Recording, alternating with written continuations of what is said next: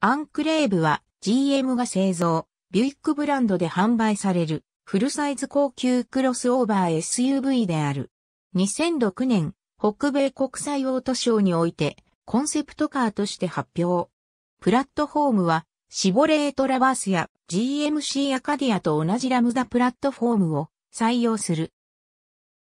また、デザインについては2003年の北米国際オートショーに出展されたコンセプトカーのセンティエムをベースとしたビュイックレーニア、ランデブー、テラーザの3車種を統合した後継モデルとして2007年5月に販売を開始した。2008年からは中国市場での販売も開始された。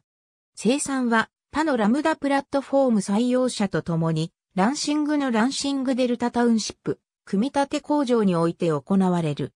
2012年4月、ニューヨーク国際オートショーにて、フェイスリフトを受けた2013年モデルが発表された。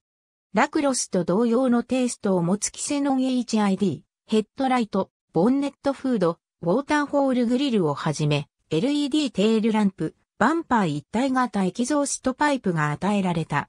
インテリアも上質化が図られ、センタースタックには、ビュイックの新しいインフォテインメントシステムである、インテリリンクが搭載された。また、シボレートラバースと同様に、世界初のフロントセンターエアバッグ標準装備車種となる。